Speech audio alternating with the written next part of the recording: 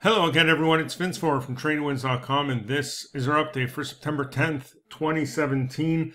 Let's take a quick look at how the markets finished off last week. On Friday, we saw stocks close mostly lower. It was really led by energy and, and a few uh, information technology stocks, uh, as well as the effects from um, Hurricane Irma and recently Harvey uh, on on those insurance stocks. We'll take a few a look at a few of those in a moment, but let's start with the index charts. The Dow Jones, excuse me, the Dow Jones Industrial did manage to gain 13 points, but if we take a closer look at this, it really is range bound and it is squeezing here. It's coming into a wedge um, that's going to give soon here. Um, so this is the key watch and wait for that breakout either above that upper edge of the wedge or below. But for now, we are stuck firmly within this range. The S&P 500 on Friday finished lower by about three and a half points is also in a very similar range, while the Nasdaq was down 37 and a half, coming back again within that range. This one still does have a little upward momentum though. We'll keep an eye on that. But more importantly, what did the Russell do? Well, it was up slightly, 0.76. Still range bound here as well. Remember, what we're waiting for here is either a break above last Thursday's, um, or actually it's the to to November, uh, September 5th bar, or a break below these lows near 134. That's going to be the next key move for uh, IWM or the Russell 2000 bonds on Friday. Um, we're down about 28 cents, while gold was pretty flat. And it was higher in the day, actually put in a fresh new high at 1357 before pulling back. And crude uh, was, which was one of the main reasons why things are mostly lower, was down over 3% on Friday. So a pretty ugly close there. Now, as I mentioned, um, these hurricanes lately have really, really done a number on a few insurance stocks. Let's look at a few.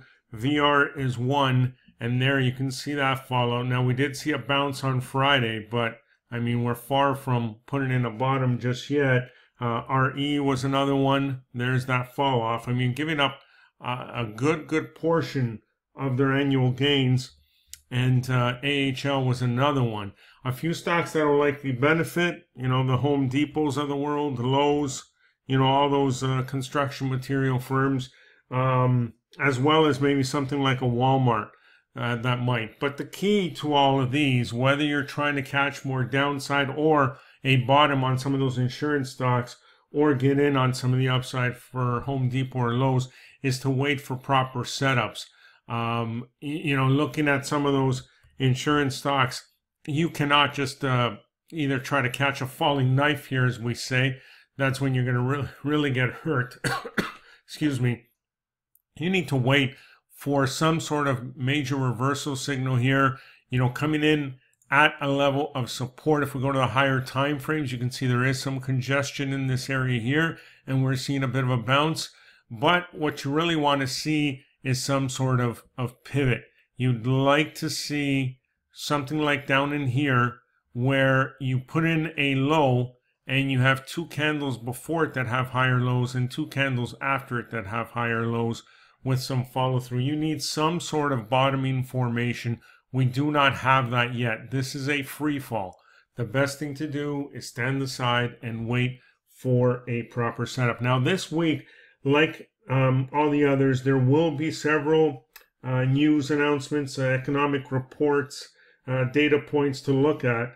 Uh, but something on Friday um, is quadruple witching uh, day on this coming Friday, which only happens four times a year. That is when, on the same day, the index futures, stock index futures, stock options, and single stock futures all expire on the same day. What this means is that typically it's a much more volatile day. You're going to see a lot more back and forth on Friday. Um, it happens on the third Friday of every March, June, September, and December. Something to make a note in your journal, and especially if you're day trading, there will be opportunities intraday, but it is going to be a wild ride, most likely. Um, so be careful on Friday. Okay, that's about it for now. Enjoy the rest of your day, and we will see you on our next update.